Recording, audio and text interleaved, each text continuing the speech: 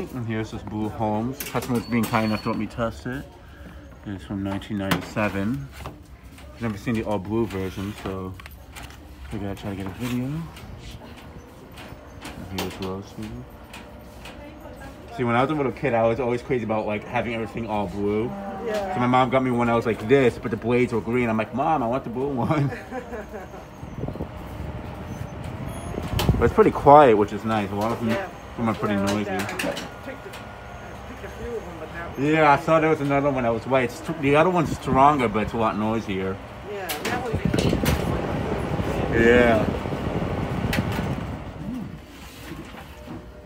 But some people that like watch my videos, they're like, it's like a thing that I'm like, oh, I remember having one as a kid, or oh, my grandmother had one. So it's like a thing that kind of brings back nostalgia for some. Yeah, that's And um, nice. yeah, thank you for letting me do the video of it. You're And that'll be it for this video. Thanks for watching.